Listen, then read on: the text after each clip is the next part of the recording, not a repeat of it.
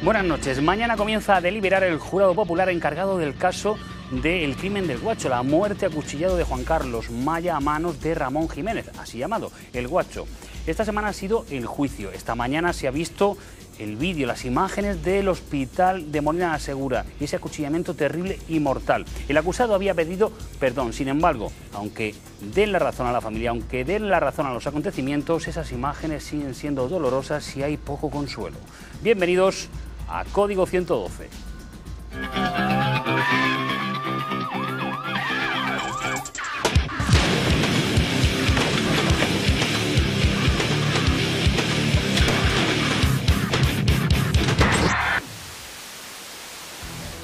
En un barrio llamado Espinardo ha ocurrido casi de todo esta semana. Por ejemplo, vecinos que lanzan objetos electrodomésticos desde balcones, fiestas multitudinarias por casamientos e incluso un torneo de futbolín, aunque eso sí parece se ha suspendido.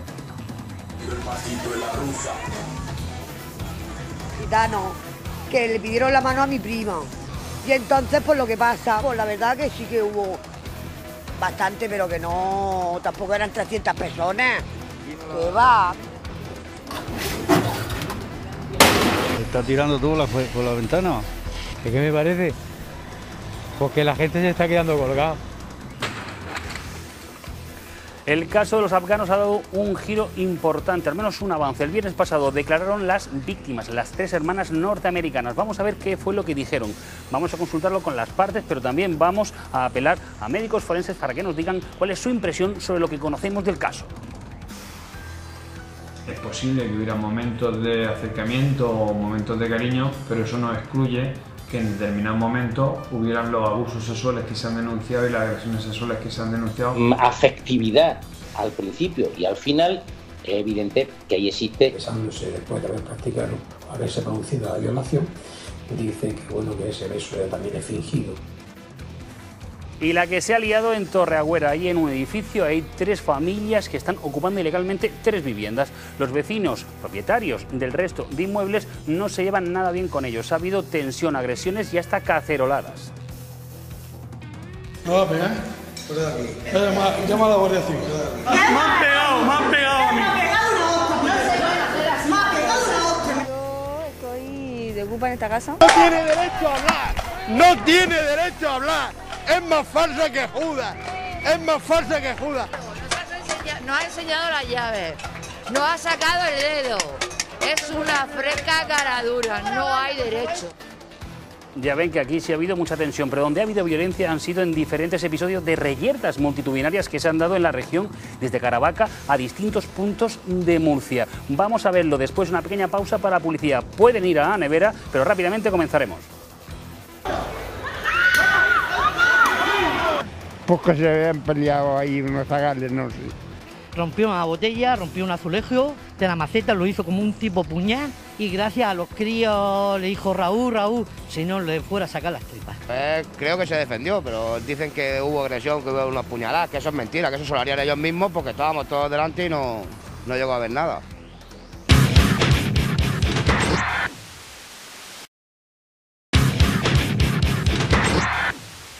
Soy el fuego que arde tu piel,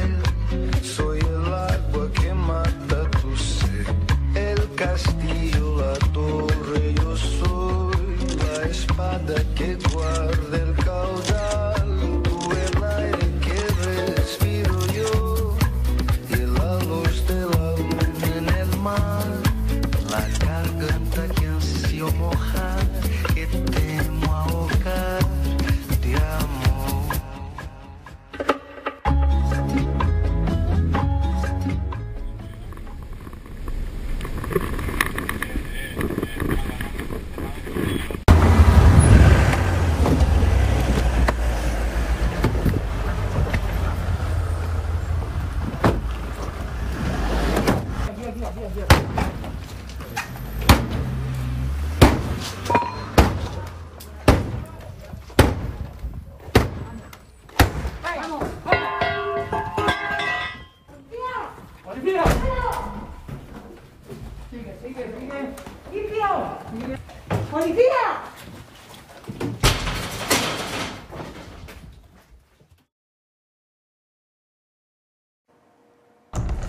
Así irrumpía la Policía Nacional en un piso en Habanilla. Así empezamos nosotros nuestra sección de narcos. En ese piso de Habanilla, una de las operaciones que le vamos a contar, se dedicaban no solo al cogollo de marihuana, sino también estaban haciendo su propio hachís, hachís artesanal aquí, en España. En otra operación de las que le vamos a dar cuenta, se han incautado 100 plantas de marihuana entre Molina y Fortuna. Y la tercera operación nos va a llevar hasta Mazarrón y hasta este panel, porque allí vendían de esto 24 horas al día cocaína, cocaína base y heroína. Vamos a empezar por la primera operación, la de Habanilla.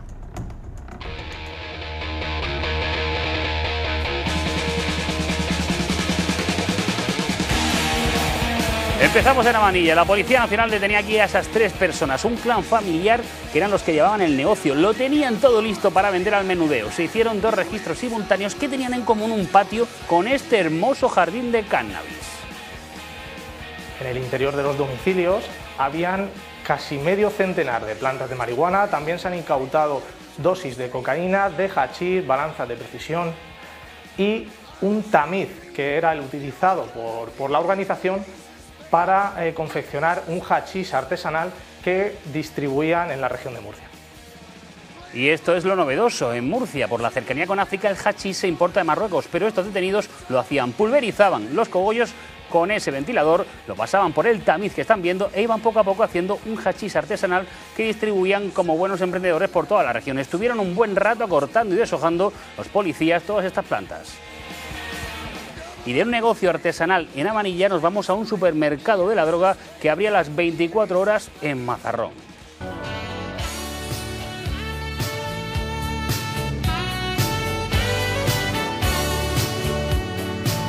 Porque estos que ven aquí, detenidos por la Guardia Civil, regentaban dos garitos en el puerto de Mazarrón. Ha sido la operación Cegarrita. Uno de ellos estaba abierto a los toxicomanos 24 horas al día, 7 días a la semana. Y tenían de todo, pero sobre todo vendían heroína, cocaína y cocaína base. De los cuatro detenidos, dos han ingresado en prisión provisional. Si tienen dudas de lo que hacían en estas imágenes, pueden ver el narcotest que realiza un guardia. Echa los polvos en la solución salina, lo cierra bien con un botecico de olivas rellenas, que es que en todo se fijan los periodistas, cómo son. Y luego da un color azul cielo que significa positivo en cocaína. Que ya fue desmantelada en julio de este año y fueron detenidas varias personas, miembros del mismo clan familiar. La Guardia Civil averiguó que otras personas, miembros del mismo clan, eh, habían retomado esa actividad delictiva de tráfico de drogas en la misma zona. Estos registros se saldaron con la detención de cuatro personas, uno de ellos además menor de edad, que se sospecha que supuestamente es el líder de esta nueva organización criminal. Esto es parte de lo que también encontraron, 632 euros en distintos billetes, dosis de droga de gran pureza, básculas de precisión, envoltorios, alambre y hasta dos armas. Tenían también todo tipo de objetos para la preparación y dosis. Nadie monta un negocio sin tener ningún tipo de defensa. Ahí la veía. Este caso es fruto de una investigación continua desde este verano, pero a veces también funciona el olfato policial.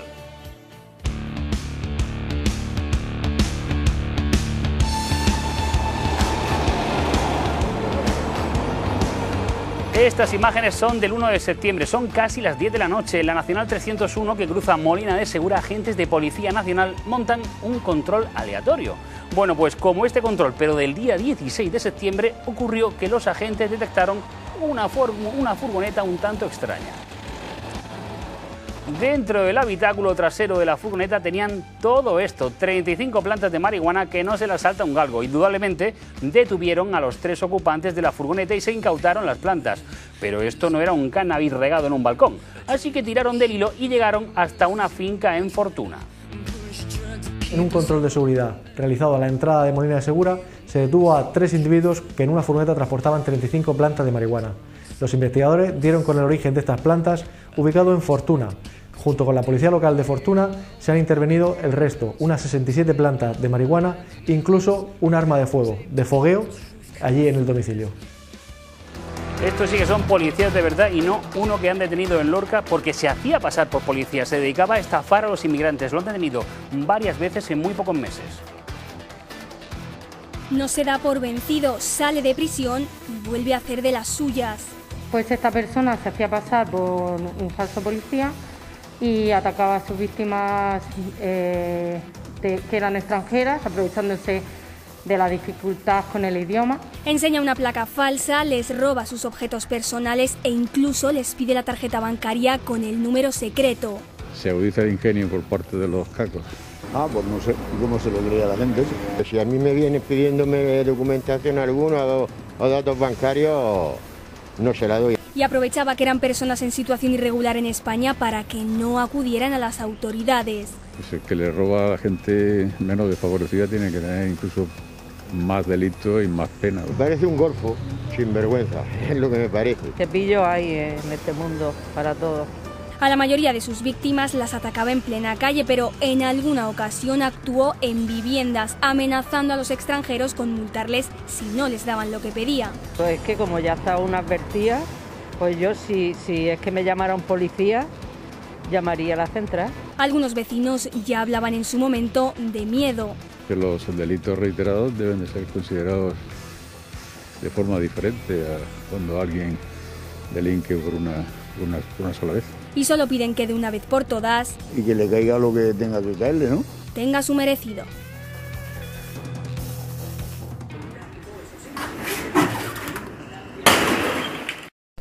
Bueno, vamos a tirar otra cosa, a ver qué tal va. Vamos a tirar estas dos maderas de aquí, estas.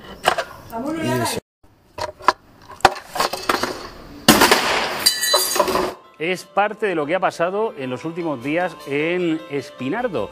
Nada violento, por fortuna, nada sumamente desagradable, pero sí cosas muy curiosas. Vamos a empezar varias historias de lo que ha pasado en el Espíritu Santo en Espinardo, por ejemplo, con esa historia, la de este individuo que lanza objetos electrodomésticos a la vía pública. Vamos también a contarles lo que pasó el pasado fin de semana cuando se se congregaron más de 200 personas en una pedida de mano. Pero no es lo único, y es que para esta misma semana por fortuna al parecer se ha anulado, estaba hasta previsto un torneo de futbolín con su cartelería. Les ha dicho la policía que no pueden reunir tantas aglomeraciones. Vamos a escuchar, como decimos, a ese vecino de la calle Asunción que se dedica pues, a lanzar objetos a la vía pública, a la calle. A ver, si logro llegar a los 5.000 seguidores hoy a las 3 de la madrugada, tiro una bicicleta nueva por el balcón. Y es que lo hace para tener seguidores en redes sociales y no lo ha hecho solo una vez. Lleva una buena marcha.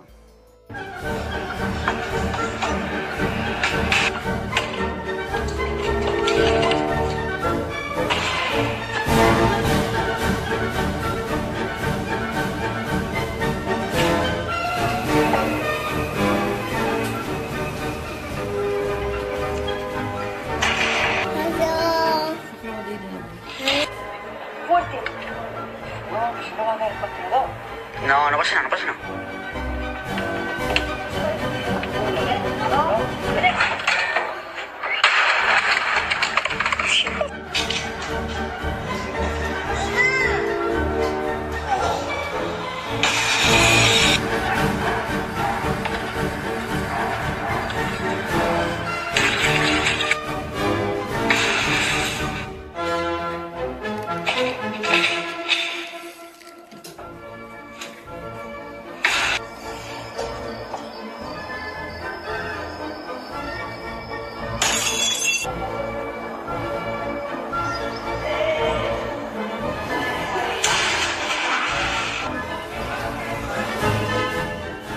Dice que tira las cosas con cuidado y que luego las recogen, pero van a ver las reacciones del resto de vecinos de la zona cuando les enseñan estas mismas imágenes. Ostras. ¿Qué, qué me parece? Porque la gente se está quedando colgada. ¿Estás tirando tú la- por la ventana? Bueno, está muy bien, ¿no? Tía Ramón. ¿Y eso por qué? ¿Eso? Bueno, puede pillar algún chiquillo o algo, alguien que pase. ¿Cómo no te siguen solidaridad? ¿Y te ibas a tirar la bicicleta? ¿Y tira, tira eso? Pues, pues no lo entiendo, la verdad. Eso me parece una cosa brutal. Uno tiene la cabeza bien. A vendrá la cabeza varón. Pasa, ¿no? Luego, luego se te van a tirar ellos, me parece a mí. ¿sabes? No se puede esto, es que es una mala educación de verdad, simplemente.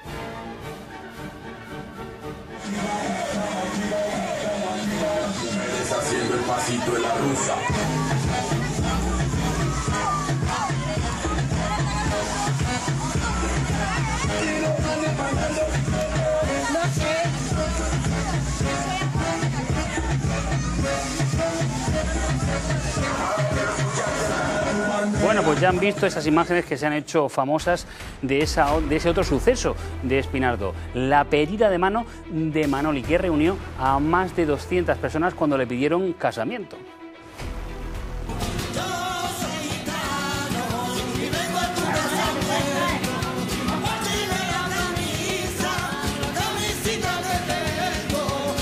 Y en este solar, ahora vacío y silencioso, más de 200 personas, como decimos, celebraron el futuro enlace. Y lo hicieron brindando con bebidas y bailando con música en altavoces de potente volumen. La situación se fue un poco de las manos, pero la familia dice que no fue para tanto. Buenos días, yo Manuela.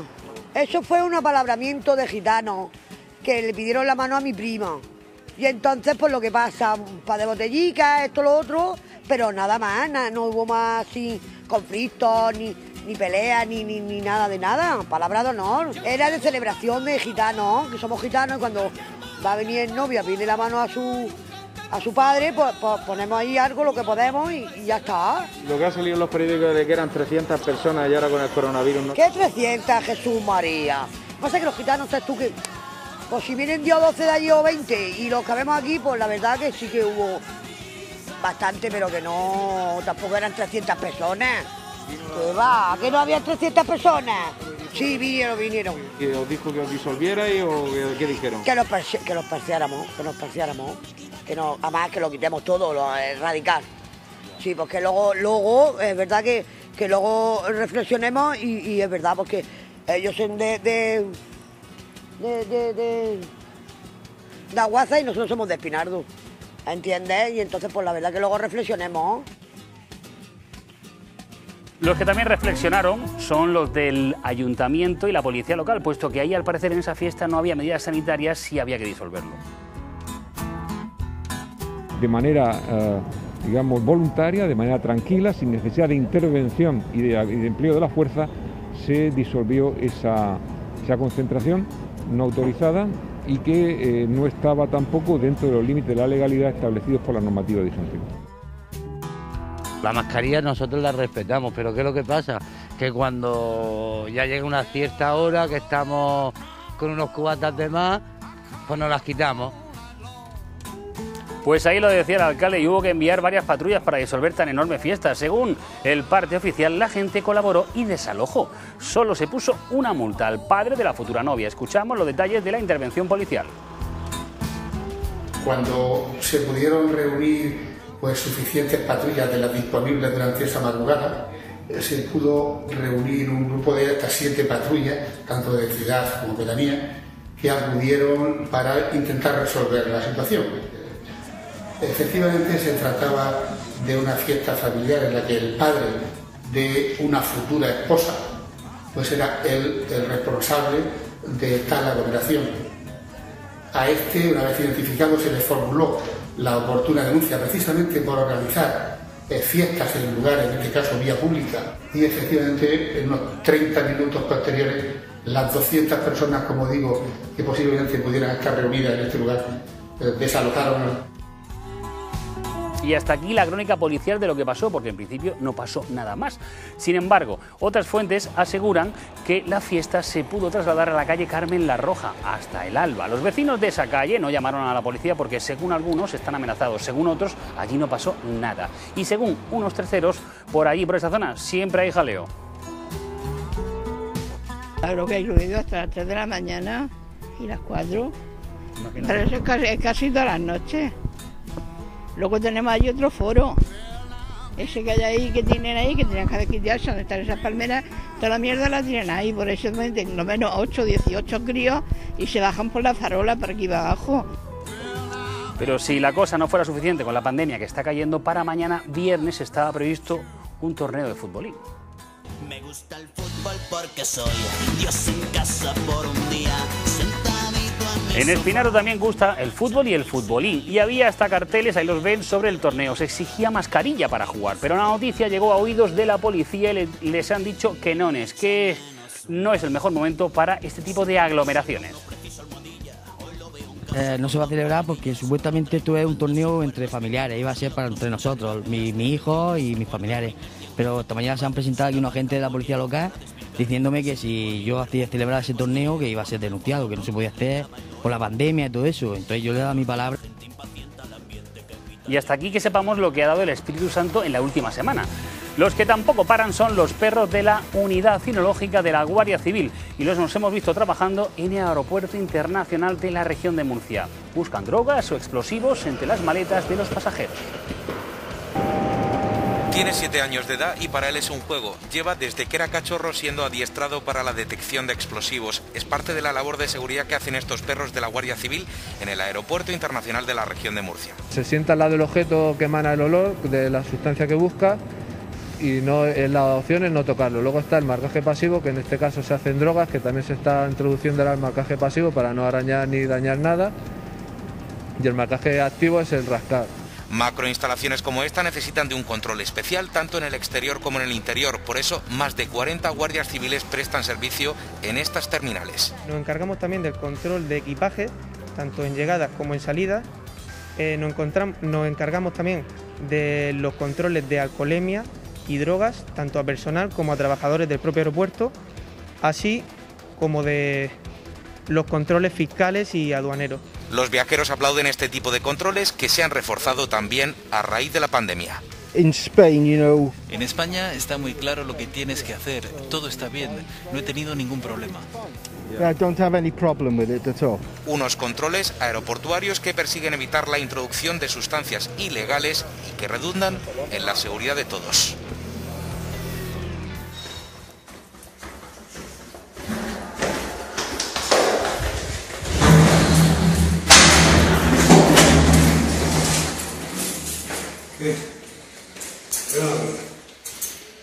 No va a pegar. Fuera de aquí. Llama, llama a la Guardia Civil. Llama a la Guardia Civil. Voy a pedir más permiso abrir mi puerta. Tu puerta no es tu puerta. Llama a la Guardia Civil. Escucha, pero tú eres propietario de la casa de la Sí, vivienda. vivo de ocupa. Y tú me estás reventando la cerveza cada dos. Yo, yo no te estoy riendo. Llama, llama, llama a la Guardia Civil. Llama a la Guardia Civil. Llama a la Guardia Civil. Escucha, no eres propietario de la casa, no Que llame a la Guardia Civil. Mucho menos puede llamar a la casa. No, no. Tienes tu Llama a la Guardia Civil. Llama, a la Guardia Civil. Corre, llama a la Guardia Civil. ¿Tú eres propietario de la casa? A ver, igual que ¿Cómo que te da igual? ¿Cómo que te da igual? Llama, a la Guardia Civil. Sí, no, sí sé que tú estás grabando. Llama, llama a la Guardia Civil. Si eso me lo has hecho tú. Llama a la casa ahora. Si eso me lo has hecho tú. ¿De qué? Esta secuencia tan tensa y tan intensa se vivió hace muy poquitos días en un edificio en la pedanía murciana de Torreagüera. Se trata de este inmueble, un edificio de reciente construcción. Ahí están viendo a sus vecinos. En ese edificio hay tres pisos al menos ocupados ilegalmente, este que ven. Cuando uno de los ocupas salió, los vecinos le cambiaron la cerradura. Cuando este volvió, quiso entrar y se montó la escena que han visto ustedes hace unos segundos. Un episodio no exento de cierta violencia. Estamos amenazados de muerte y estos nos están robando, nos están siempre con escándalos y, vendiendo drogas y vendiendo de todo y que saben dónde trabajo y, todas esas cosas y, y nada, estamos intranquilos en nuestra propia casa y los pillamos infraganti metiéndose y la Guardia Civil ni hizo nada ni nada, nos metió a nosotros en la casa porque me iba a pegar con el destornillador y con el S. Y me agredieron, llevo, llevo el ojo que me metieron la uña en el ojo, me dieron un guantazo, su casa, que, no es, que, que si yo era un juez para decir que, era, que no era su casa. Los propietarios de algunas casas no querían a los ocupas como vecinos y al calor de esa discusión fueron acudiendo más personas a ese pasillo y ocurrió lo que parece ser inevitable. Mira la hija.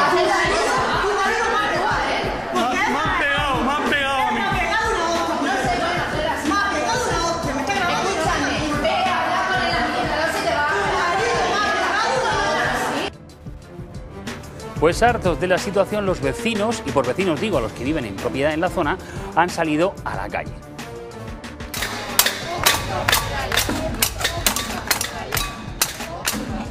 Lo hacen con una sonora protesta, una cacerolada, para gritar ocupas fuera y pedir una solución a los problemas de convivencia que se están generando. Dicen que los ocupas son problemáticos y conflictivos, pero ellos, los ocupas, lo niegan. Yo tengo 22 años ¿vale?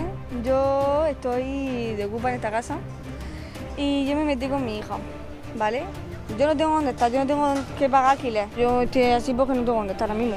Y cuando yo tenga un poder para poder pagar un alquiler, a mí, a mí me prefiero tener mis cosas bien antes que estar ahí. Es que no somos personas que son personas delincuentes, eso que dicen de nosotros que si armamos escándalo, que son mentiras. Porque mira, porque es que yo, ni yo cuando veo a un vecino lo saludo, sé la gente que arma escándalo y esa misma gente es la que vive en las casas compradas. Salí para afuera y le pregunté, ¿qué es una golpe? Me dice, eh, dice, no, que estamos arreglando una cerradura. Digo, a ver qué cerradura y veo que están poniendo un tornillo en la puerta de mi hermano. Digo, por Dios. Digo, digo, pero digo, qué poca vergüenza lo que tienes que hacer esto aquí con el, martillo en la mano. Aparte, yo le he dicho que no me llegaba a pagar alquiler social. Hemos intentado hablar con el presidente para pagar el agua, para pagar la luz, no quieren. Que no quieren. Sí, ¿qué, qué es lo que te...? La verdad, sí, lo- que lo- ellos pierden más y pasen de ellos totalmente, porque nosotros vamos a nuestra bola y lo, lo pueden decir misa.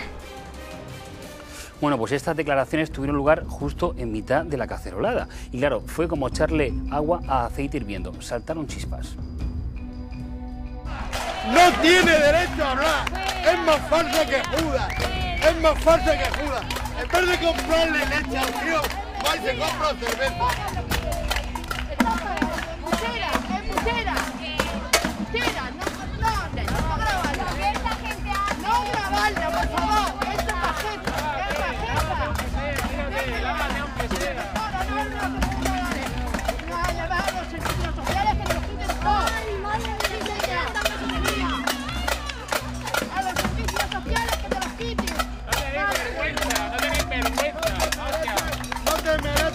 Hijos que tienen. Da lástima por ellos. Acabado el intercambio de proposiciones y epítetos que se cruzaron, la chica ocupa se fue al piso y fue hostigada hasta la puerta, tanto ella como su hijo, con recriminaciones hasta que entró en el edificio. Desde dentro del edificio, la ocupa les levantó el dedo corazón como toda respuesta. La situación sigue allí y sigue siendo tensa y ahora la protesta se ha trasladado a los balcones y a las pancartas, como la que han puesto uno de los pisos ocupas. Hakuna Matata, el lema de una película de dibujos que sigue cuyo lema sigue así, vive y sé feliz, una especie de respuesta de que cada uno se meta en sus asuntos y en su casa, sea esta casa del banco o de uno mismo. posible. Ahora le vamos a contar lo que ha ocurrido en una farmacia en Molina de Segura, porque hubo un robo y utilizaron un cuchillo de grandes dimensiones y unas tijeras que van a ver. Lo hicieron para amenazar a la empleada y ya se ha detenido a los dos presuntos autores de 44 y 48 años por atacar precisamente esta farmacia en Llano de Molina. Al parecer a Josefina la tenían vigilada. Gente de por aquí que conociese la rutina. Conocían su rutina y la conocen a ella porque los asaltantes parece que acuden a menudo a pedir dinero a esta farmacia.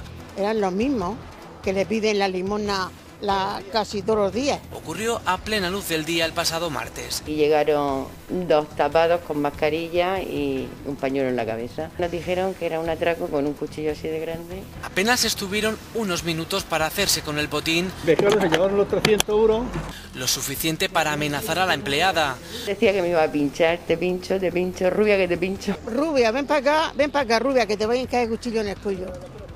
Dice, si no me das las perras, te, te hinco el cuchillo. Con el dinero en la mano salieron huyendo mientras los vecinos llamaban a la policía. Una chica que pasaba lo vio y llamaron a la policía. Y entonces la policía se fue para abajo y los cogía allí contando las perras. Ya. Los arrestados tienen 44 y 48 años de edad y se les atribuye la presunta autoría de un delito de robo con violencia e intimidación.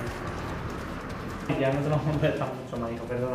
Son imágenes del 1 de enero de 2020. Dos jóvenes de origen afgano acompañan a dos chicas a la estación de autobuses. Una estampa normal, si no fuera, porque son parte de un sumario sobre un caso de presunta violación triple. El pasado viernes, las chicas, tres hermanas norteamericanas, declararon por videoconferencia y ratificaron la denuncia que pusieron. Esto es, que fueron forzadas contra su voluntad y les siguieron la corriente a los acusados para poder quitárselos de encima.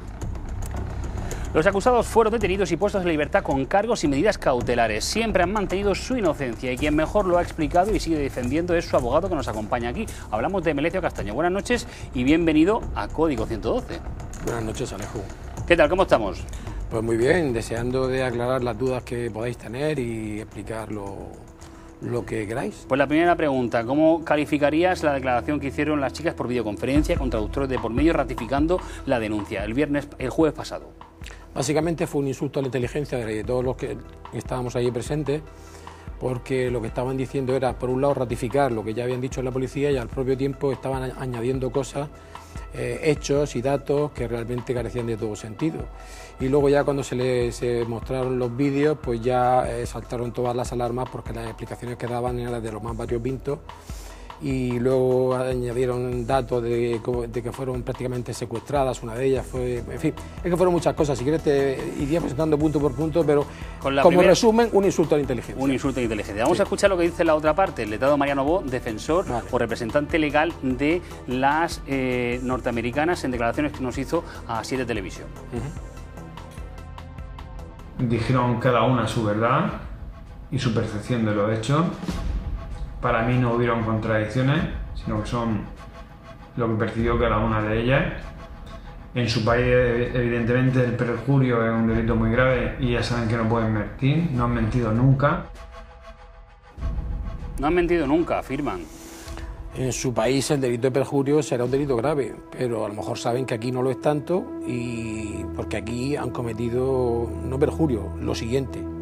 Entonces, en mi opinión. Hablaba de contradicciones como, por ejemplo, ir con, con quien no quieres y usted insinuaba aquello de que si no podían gritar, por ejemplo, ¿no?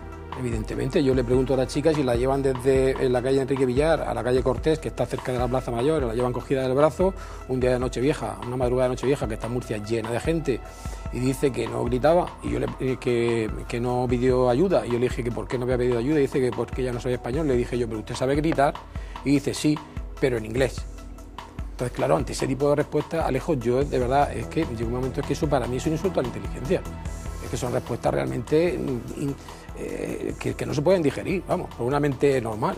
Esa es su postura. Hacía alusión a unos vídeos, unos vídeos que se han grabado antes y después de los supuestos abusos sexuales con la complicidad de todos ellos. Pero antes de que digan nada, hay que explicar a nuestra audiencia que para buscar una nueva opinión sobre lo ocurrido, sobre este caso, hemos hablado con el médico forense Aurelio Luna. Hablamos de un profesional de reconocido prestigio y dilatada carrera laboral, desde autopsias a todo tipo de informes periciales. Amigo de este programa, Código 112, ha tenido la gentileza de responder a nuestras preguntas sobre el caso. Afirma que le falta información para llegar a conclusiones científicas, pero lo ha hecho en base a las informaciones periodísticas que conocemos. Por ejemplo, si sobre esos vídeos de antes y después de la agresión sexual que nos decía el abogado Melecio Castaño, por ejemplo, las víctimas, si se les ve sonrientes y cariñosas, ¿esto qué puede significar? Evidente que si existe esa concordancia en cuanto a actitudes y entre comillas, vamos con una palabra que no me gusta, entre entusiasmo o, mm, afectividad al principio y al final, es evidente que ahí existe una continuidad que, es difícil que coincida con una ruptura en, el, en, ese en esas páginas que no hemos podido decir lo lógico que esas páginas el relato sea concordante con el comienzo y con el final. Letrado, ¿qué opina? Totalmente de acuerdo. Es decir, eh, eh, la, afectividad que mostraron ellas eh, eh, fue durante toda la noche, es decir, después de los primeros abusos que suceden en el pub, eh, al bajar ya a la calle se hacen los primeros vídeos y ahí están besándose, haciendo el signo de la victoria, sacando la lengua, riéndose, etcétera. Y luego existe una continuidad afectiva cuando posteriormente se dan los besos, algunos de ellos muy apasionados, no vamos a entrar en detalles, pero un beso apasionado ya sabemos lo que conlleva y luego finalmente cuando están haciendo las maletas tres cuartos de lo mismo, es decir, eh, más risas, más besos y bueno, dice en definitiva el perito es eh, algo lógico, es decir, que existe una coherencia una continuidad. una continuidad, coherencia afectiva durante toda la noche. que no se rompe en ningún momento. Sin embargo, le hemos preguntado también por eh, la validez de esos vídeos como prueba en un proceso tan sumamente difícil y grave como es este. Vamos a ver lo que nos responde importante en este tipo de vídeo el tener en cuenta, primero, quién lo graba, en qué contexto se graba, la duración del vídeo y la relación en cuanto a lo que serían las coordenadas temporales de los hechos que se denuncian con el tiempo y duración de los vídeos donde se graba. Entonces, todas estas cuestiones en función de esos elementos permiten llegar a darle una mayor carga probatoria o menor carga probatoria. Claro, pero es que aquí da la casualidad, yo estuviera aquí en Don Aurelio, yo se lo diría, que es que los vídeos están grabados precisamente, precisamente justo después de los primeros abusos, o supuestos primeros abusos en el PA, y después de la supuesta violación en las casas de, los chicos y de las chicas. Es decir, que temporalmente están justo grabados en esos momentos. Es decir, que las recién abusadas se graban besándose con sus recién abusadores, o eh, las personas que la acababan de abusar de ellas, y luego las violadas se graban de la misma guisa, es decir, besándose, haciendo el signo de la victoria, eh, sacando la lengua, etcétera, con las personas que eh, las acababan de violar. En definitiva, temporalmente, lo que dicen esos vídeos es que no, sea, no son compatibles con el acto anterior, es decir, ni con el abuso ni con la violación. Sí, pero esos vídeos se han conocido viniendo de una de las partes, es decir, de los acusados. Es decir, mm, pueden difundirse, pueden poner como prueba los vídeos que ellos quieran o grabar justo en el momento más oportuno donde se mostrase menos. Le planteo las cuestiones. Hombre, mira, mira, Alejo, vamos a ver. Si tú acabas de salir de un pato, te, te han hecho determinadas cosas, pero en cualquier caso, abusos sexuales manifiestos y palmarios. Y tú a los tres minutos te estás dando un beso en la boca prolongadísimo, cogiendo tú del cuello a tu abusador e introduciéndole la lengua apasionadísimamente y manteniendo un beso largo y luego cuando termina el beso eh, le sonríes a la cámara, pues para mí eso es incompatible con un abuso. Y lo mismo digo en, las, en, las, en los vídeos posteriores a las violaciones. Es que, es que no son compatibles, no pueden ser compatibles. Lo que decía el letrado, lo que decía el perito era en este caso que hay que estudiar en qué momento se hacen esos vídeos. En cualquier caso, eh, vamos a hablar también, por ejemplo, sobre si existió o no existió violencia. Violencia de los chicos hacia las chicas o si de alguna manera Mm. el sumario, los informes forenses pueden reflejarlo. El abogado Mariano Bo, en sus declaraciones, en su postura, recordaba algunos de los datos. Vamos a escuchar precisamente al abogado de las norteamericanas sobre este punto, sobre si había violencia y si esta se recoge en el sumario de la investigación. Vamos. Es posible que hubiera momentos de acercamiento o momentos de cariño, pero eso no excluye que en determinados momentos hubieran los abusos sexuales que se han denunciado y las agresiones sexuales que se han denunciado, sobre todo porque lo que sí que se ha demostrado es que hubo violencia y hubo fuerza, porque las declaraciones son compatibles con los informes médicos forenses que existen y si hay fuerza, si hay violencia, hay abuso. Vamos a ver, eh, las lesiones que presentan en realidad es una, porque la, una de ellas lleva lo que es una equimosis en, en los genitales. Ella dice que es de una mordedura, si fuera una mordedura llevaría la marca de los dientes y es una equimosis.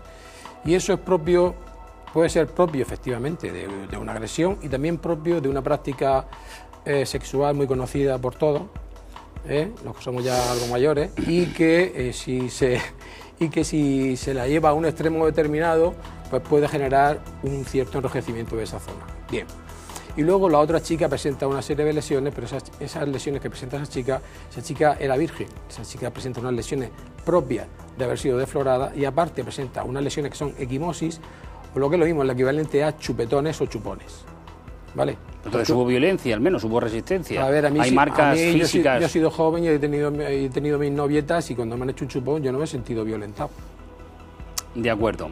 Vamos a, mm, siguiendo esa línea, imaginemos que no, por ejemplo, no hay eh, más evidencia física, según su entender, de resistirse a, a esa voluntad de los presuntos agresores. Le vamos a poner unas imágenes de un caso, es un poco, eh, digamos, superlativo, pero a lo mejor nos pueden ilustrar para el brete en el que nos encontramos. Nos referimos al caso conocido de la manada. Ahí lo están viendo. En este caso, por ejemplo, eh, los cinco sevillanos fueron juzgados y condenados por abusos sexuales. Finalmente, eh, lo que pasó es que tras recurrirse, el Supremo concluyó que lo que había pasado eran violaciones. ¿Por qué? Porque al parecer, aunque no hubo violencia ni resistencia, lo que sí hubo, o que sí entendió el tribunal, es una intimidación, entendida por violencia, por la superioridad numérica. Aquí, por ejemplo, serían tres presuntos agresores para tres hermanas, pero estaban en pisos, estaban aislados, quizá, estaban confundidas. No es asimilable, no tiene nada que ver. Además, eh, esta chica de, la manada de Pamplona no se besaba eh, apasionadamente en ese momento con los,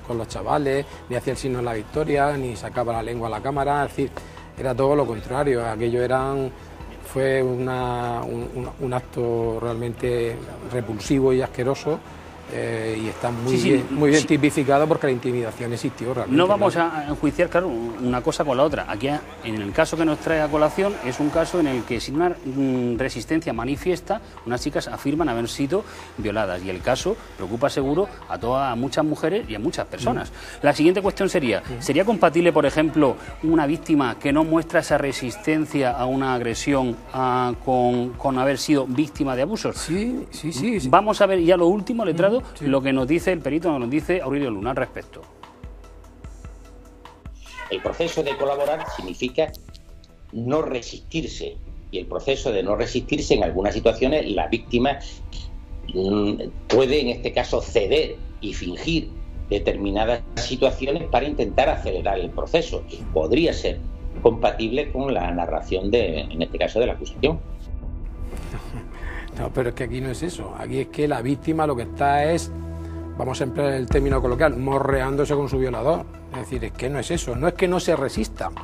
Es que está cogiéndolo del cuello y se está eh, besando apasionadamente con él en uno de los vídeos. ¿Vale? Entonces eso para mí es de todo punto incompatible. ¿Vale? Pero es que eso lo hace después de ser abusada y lo hace después de ser eh, presuntamente violada. Es decir, lo que dice el señor Luna es que no exista resistencia, de que la mujer diga, bueno, pues con tanto termine mejor y me estoy quieta, ¿vale? Eso sí lo entiendo. Pero, hombre, que tú premies, entre comillas, a tu agresor con un beso de esas características, hombre, con un beso, digamos, en las mejillas todavía, pero, hombre, un beso de esa, de esa naturaleza lleva implícito una carga de agradecimiento, digamos, hacia la parte contraria, cuanto menos, cuanto menos de agradecimiento. Pues estas eran, digamos, las sombras o las dudas sobre el caso. Queríamos exponérselas para que pudiera explicar su posición. Última cuestión, ahora el caso por dónde va. ¿El juzgado tendrá que pronunciarse respecto a las medidas cautelares o archivar o qué? Bien, vamos a ver, yo he pedido el archivo por enésima vez, mm, supongo que no me harán caso tampoco, eh, he pedido el archivo, el alzamiento de las medidas cautelares, eh, que se educa testimonio contra ella por falso testimonio, en definitiva, pero supongo que lo que hará su señoría será llamar a, a mis clientes a, o sea, no cederá a mi pretensión y citará a mis clientes para que, para que declaren porque no lo hicieron. Cuando llevaron el primer abogado no se abstuvieron de hacerlo y, y querrá escucharlo. Bien. Pues- Lo, veo- lo veo también bien. Menecio Castaño, abogado, muchísimas gracias por venir aquí y ti, por someterse al criterio de la opinión pública. A ti, Alejo. Muchísimas gracias a ti.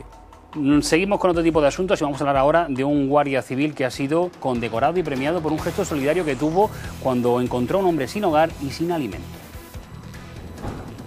Su jornada habitual en la agrupación de tráfico es coger un vehículo y salir a patrullar los caminos. A veces pondrá multas y en otras ocasiones prestará ayuda, pero ahora se ha convertido en el guardia civil solidario. Toma. Que te aproveche. Espera, que te ayuda a guardar. José Luis es cartagenero de los Barreros, 52 años, 30 en el cuerpo, 21 en tráfico, padre de tres hijos y dueño de un gran corazón. Yo llegué a la tienda y yo quería hacerle un bien, no quería hacer otra cosa, solamente hacerle un bien a ese hombre.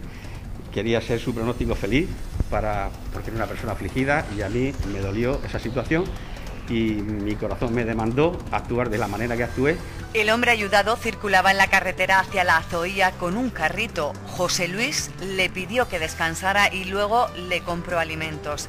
Pide que en estos momentos de dificultad seamos solidarios. que cada uno sea pues más solidario, que sea que respetemos, nos respetemos unos a otros, que todos tenemos familia, todos tenemos hijos, todos tenemos hermanos. Sus superiores están orgullosos de él. Un componente de tu equipo pues preste esta labor de auxilio humanitario, esta labor altruista sin pensar en nada y entre comillas rascándose su propio bolsillo cuando no tiene la necesidad, pues enorgullece tanto a él como a la institución a la que representa. José Luis cumple con aquello que dijo el fundador Duque de Ahumada, de que el honor sea su divisa y ser el auxilio en los caminos.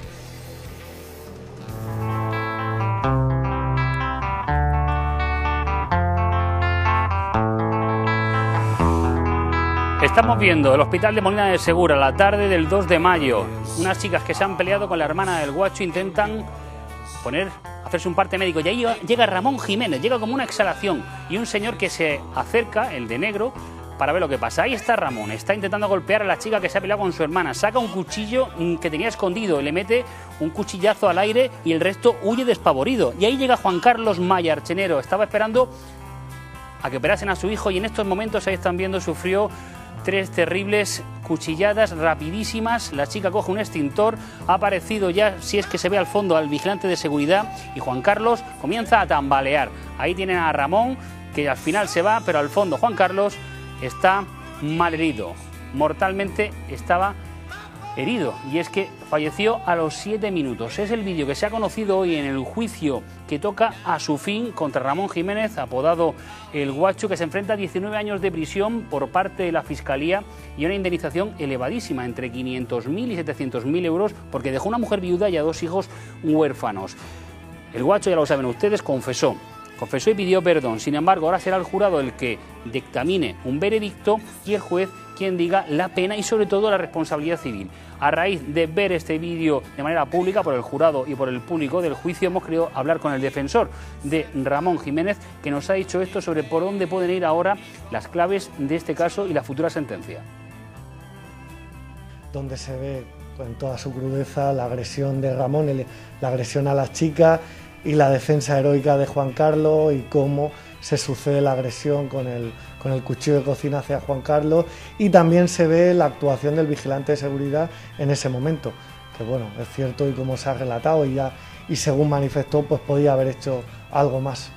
Bueno, es importante porque en la medida que Ramón, mi cliente, es insolvente, él no puede afrontar el pago de la responsabilidad civil que se le exige por parte de la familia del fallecido, se pide como responsable civil subsidiario al hospital, a la empresa que explota el hospital de Molina de Segura.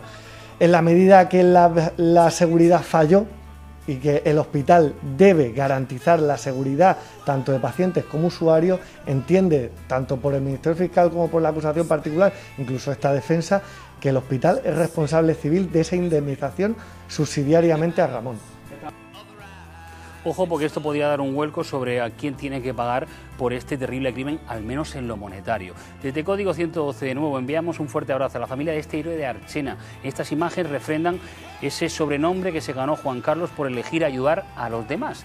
Estaremos muy atentos y le contaremos a ustedes cómo acaba este asunto judicial de Ramón Jiménez y el Guacho. Ahora vamos a hablar de otros casos, casos por ejemplo también de reyertas, casos violentos, por suerte sin fallecidos. Por ejemplo, la reyerta que hubo en Era Alta. Allí hubo una pelea multitudinaria.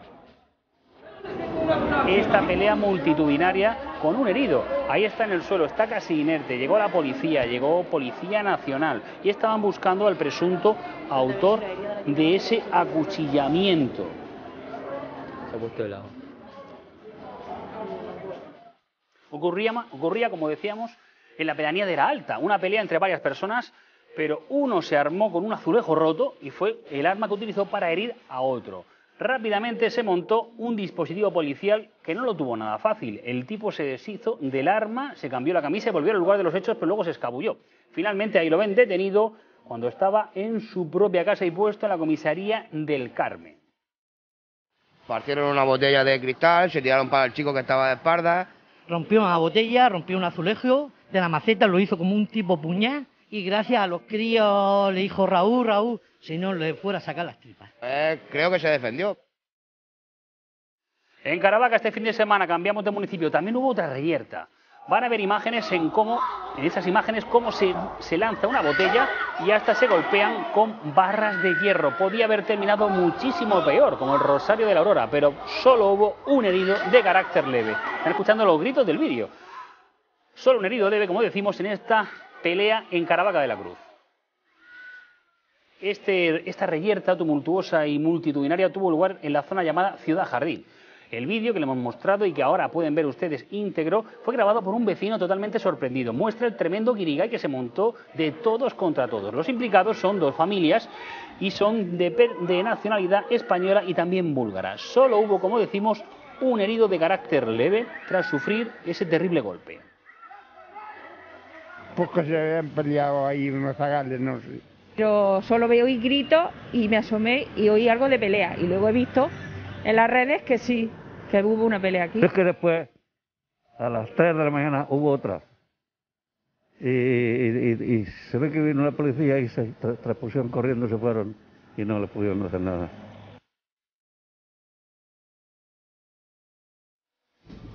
Pues esto es lo que ha dado el Código 112 de esta semana. Hablaremos de muchos más asuntos la próxima. Por ejemplo, entre otros, podríamos hablar del caso de una estafa ocurrida en Caravaca de la Cruz. Van a ver enseguida la imagen del arrestado y si no la ven se la enseñaremos la próxima semana, puesto que el caso, como otros muchos más, se lo contaremos en detalle, como siempre hacemos aquí.